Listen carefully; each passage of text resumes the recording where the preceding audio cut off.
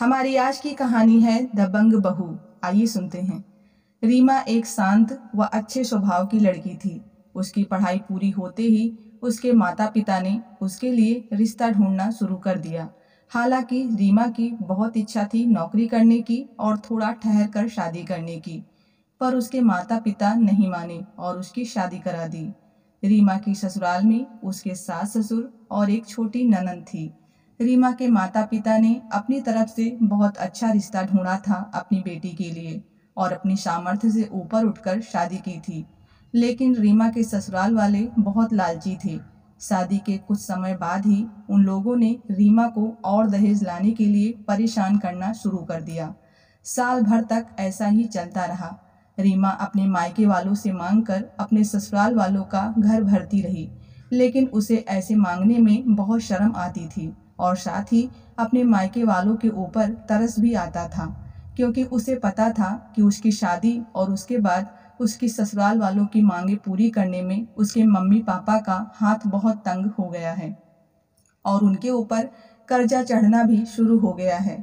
लेकिन रीमा बहुत मजबूर थी, क्योंकि अगर वो अपने ससुराल वालों की बात नहीं मानती थी तो सब मिलकर उसकी बहुत पिटाई करते थे और कई दिनों तक खाने को भी कुछ नहीं देते थे। रीमा ने अपने मम्मी पापा को अपना दुख समझाने की बहुत कोशिश करी, लेकिन वो लोग बड़ी पुरानी सोच के थे। उनके लिए बेटे की रक्षा करने, उसे मायके वापस बुलाने से ज़्यादा आसान, उसके ससुराल वालों की मांगे पूरी करना था। रीमा ने अपने पति को समझाने की कोशिश की, लेकिन वो हर बार की तरह नहीं माना। तब रीमा ने कहा कि मैं नौकरी करना शुरू कर देती हूँ, तब आपको मेरे मायके से कुछ मांगना नहीं पड़ेगा।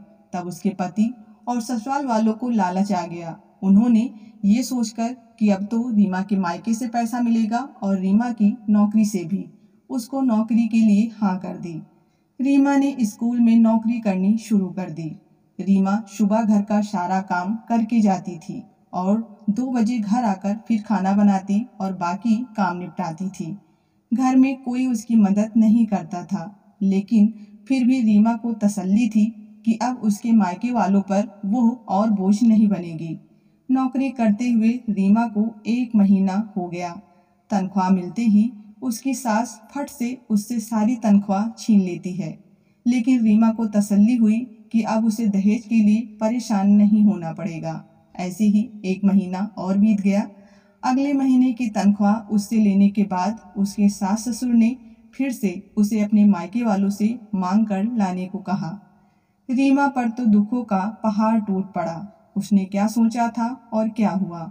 उसने अपने ससुराल वालों को समझाने की कोशिश करी कि अब तो मैं कमा कर लाती हूँ और आप सबके हाथ में रखती हूँ। तो अब मेरे मायके वालों को परेशान मत करें। ऐसा सुनकर सबने मिलकर रीमा को खूब मारा और कुछ खाने को भी नहीं दिया। खूब मार पड़ने और भूख के कारण रीमा की हालत बुरी थी। तो उसने सोचा कि वो आज स्कूल नहीं जाएगी और कल जाकर इस्तीफा भी दे आएगी, क्योंकि नौकरी करने का उसे कोई फ़ायदा तो हुआ नहीं। अभी तो काम और भी बढ़ गया। अगले दिन सुबह दुखते शरीर के साथ घर का काम निपटाने के बाद जब रीमा स्कूल जाने के लिए तैयार नहीं हुई, तब उसकी सास रीमा से कारण पूछने लगी। तब रीमा बोली कि मैंने नौकरी इसलिए की थी ताकि आप सब मेरे मायके वालों से दोबारा कभी दहेज न मांगे। लेकिन ऐसा नहीं हुआ तो इस नौकरी का क्या फ़ायदा? सो मैंने सोचा कि मैं ये नौकरी छोड़ देती हूँ।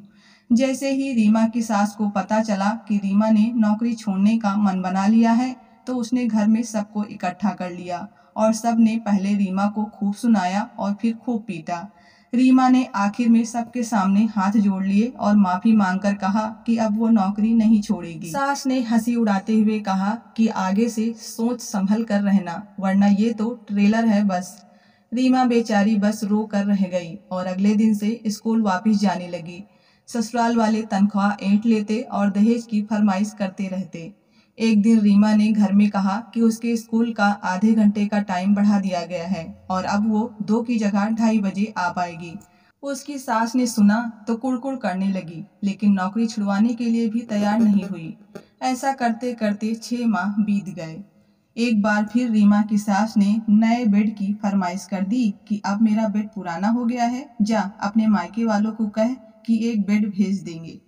रीमा ने साफ़ साफ़ ऐसा करने से मना कर दिया। गुस्से में सास समेत सब लोग उसको पीटने को खड़े हो गए। जैसे ही सास ने हाथ उठाया, रीमा ने उसका हाथ पकड़कर मरोड़ दिया। सास दर्द से बिलबिला उठी। ये देखकर रीमा का पति उसे गालियाँ देने लगा और उसको मारने लगा।